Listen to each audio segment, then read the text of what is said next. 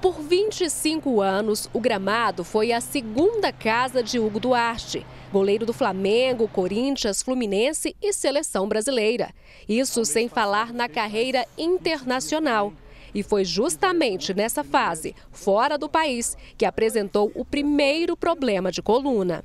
Em 1990, quando eu jogava em Portugal, eu senti uma dor na, na, nas costas, né, na coluna, achei que era uma coisa simples e o doutor pediu uma ressonância e, e, constatou que já era um pequeno desgaste na hérnia de disco. As lesões mais comuns na região da coluna, no caso de atletas, além da hérnia de disco, são as musculares. Uma muito comentada recentemente foi a do jogador Marcelo, da seleção brasileira. Ele não conseguiu terminar a partida contra a Sérvia e não foi escalado para o último jogo contra o México por conta de um espasmo na musculatura das costas, causado supostamente pelo colchão em que ele dormiu no hotel. Espasmo é uma contratura da musculatura. Às vezes você faz um movimento inadequado ou vira o corpo de forma inadequada e esse músculo não está preparado, pode ocorrer esse espasmo. E já que o colchão pode interferir nisso, qual o ideal para ter uma coluna saudável?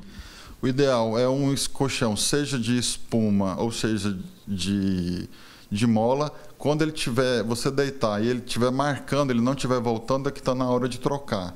Se for de espuma, aí vai ser a densidade pela sua altura e peso, e o de mola é o mais confortável. Não precisa ser colchão ortopédico, aquele colchão muito duro, não precisa ser colchão magnético.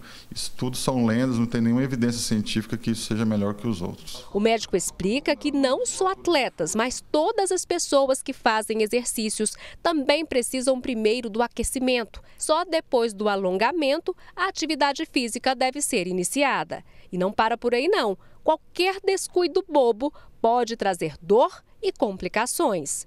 Mesmo quem não é atleta pode sofrer lesões na coluna, principalmente por conta da má postura. E computadores e também celulares hoje contribuem bastante para isso. O doutor André vai mostrar para a gente como é a postura ideal, por exemplo, para quem trabalha em frente ao computador como ele. Doutor, como é que é então? A pessoa tem que estar sempre sentado com a coluna reta? Sim, mantendo a coluna reta e o teclado e a tela do computador, o ideal é que a tela fique na altura da visão, para você não deixar nem o pescoço muito inclinado nem para baixo, nem para cima, e o teclado para não forçar o ombro, nem muito alto, nem muito baixo. Agora, doutor, é o vício do celular, né? Como é que as pessoas costumam ficar e como é que é o correto? Então, as pessoas ficam com o pescoço assim, teclando.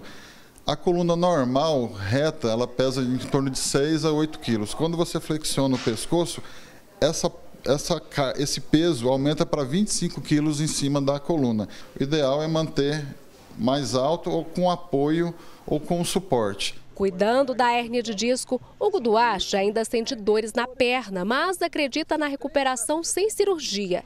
E os longos anos de experiência no esporte permitem a ele uma opinião não muito otimista a respeito do jogador Marcelo, nessa Copa. A arrancada, o esforço que você faz, eu não sou médico, mas eu tenho experiência um pouco nisso, é, na coluna ele pode ter sentido. E quando você sente esse tranco, uns falam espasmo, outros falam tranco, outros falam dor, aí fica um pouco difícil. Eu acredito, mesmo ele querendo, ele vai ser difícil aí voltar a jogar.